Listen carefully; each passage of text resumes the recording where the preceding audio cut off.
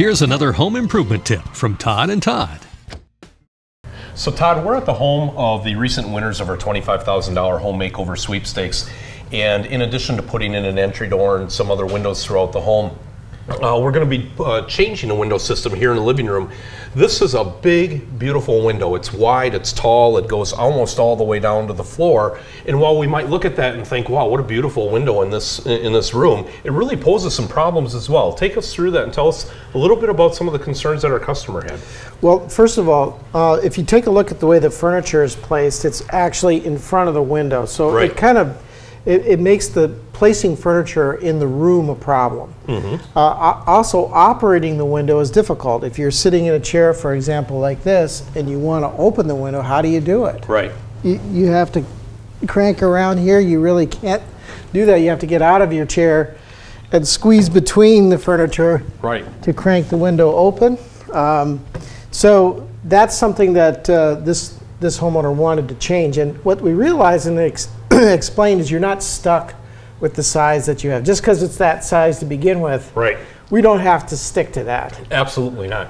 No, there were some there were some ventilation issues, Right. Because of the furniture uh, where it's located, cranking out the windows, it didn't seem to allow much air in here when half of the window is being blocked by the furniture. Right. And uh, the other thing too is you know on those nice uh, spring and fall uh, rains. Really, you know, keeping the window open a little bit was a problem because when you have a casement window, even if you keep it cracked open just a little bit, Todd, that rain can can come in from the side and then hit the furniture and the floor, and Right. that was an issue. Yeah. So- also, the amount of sun.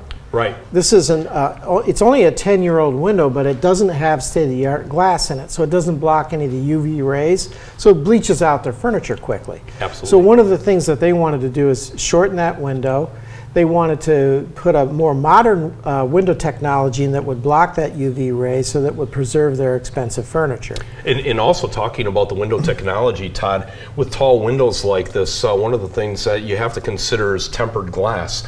Because when you have a window glass that gets real low to the floor, I mean, it's a hazard, isn't it? Right. You know, if anybody falls, particularly if you have little children in the house and they're playing around and, and someone would fall bumped into that glass and it breaks. I mean, shards can fall down and really injure somebody and sometimes maybe even It death can be fatal. Yeah, it's serious. That's why the building code right now is if your window is, is below 18 inches from the floor, it is required by law that it be tempered glass. Right. Which is expensive. It is, it really is. So one of the options is to raise the window up so you're, you're above that 18 inch threshold. You don't have to put tempered glass in, and then you can use those savings to help offset the, the cost of uh, altering the opening to get the other benefits that you're looking for. Absolutely. So, so let's talk a little bit about their reasoning behind choosing to put double hung windows in here rather than having two casement windows on each end with a center picture window. Right. Our customer decided to put three equal sized double hungs in here. Right. So, what are some of the advantages that the double hung offers in this situation here, Todd? One is that you just get more ventilation because you can open all three windows like uh, from the bottom up or the top down, depending if you put full screens in.